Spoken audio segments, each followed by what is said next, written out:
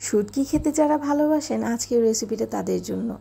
একটু ইউনিকভাবে করার চেষ্টা করেছি, আর এর রেজাল্ট ছিল দুর্দান্ত।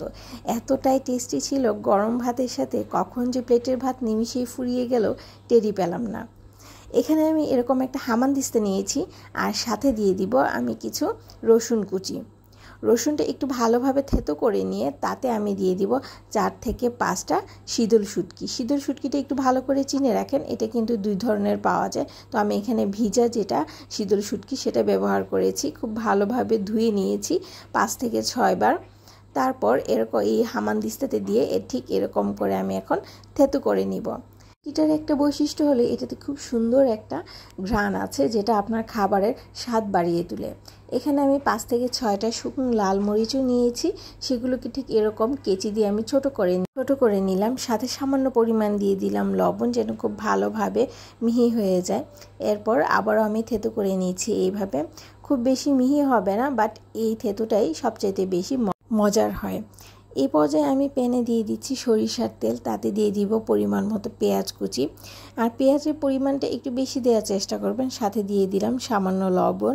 যেহেতু আমি আগেও লবণ ব্যবহার করেছি, এবার দিয়ে দিব হাফ টেবিল চামচ করে হলুদের গুঁড়া এবং মরিচের গুঁড়া। সাথে হাফ টেবিলেরও কম দিয়েছি এখানে আমি ধনিয়া গুঁড়া। দিয়ে একটু ভালোভাবে ভেজে নিয়েছি, তারপর সেই থেতু করা শুটকির মিশ্রণটা এখানে দিয়ে দিচ্ছি। দেয়া হয়ে গেলে এটাকে সব কিছুর সাথে খুব ভালোভাবে মিশিয়ে আমি সামান্য পানি দিয়ে এটাকে আমি জাল করতে থাকব। সামান্য পানি আমি আরেকটু দিয়ে দিচ্ছি। দিয়ে এটাকে খুব ভালোভাবে মিশিয়ে এখন আমি এটাকে খুব ভালোভাবে জাল করতে হবে। আর এতে কিন্তু খুব সুন্দর একটা সুগ্রান অলরেডি বের হয়ে গেছে। আশেপাশে যারা আছে তাদেরও খবর হয়ে যাবে। আজকের রান্না এইভাবে যদি করেন। আগে থেকে আলু এবং বেগুনগুলোকে আমি কুচি করে কেটে রেখেছিলাম। সেগুলোকে আমি পানি ছড়িয়ে ঠিক এইভাবে দিয়ে দিলাম। দিয়ে খুব ভালোভাবে মশলাটার সাথে আমি এখন মিশিয়ে নিয়েছি। এই পর্যায়ে চুলার জালটাকে আমি হাই করে দিয়েছি এবং এইভাবেই নাড়তে নাড়তে পুরো রান্নাটা করতে হবে।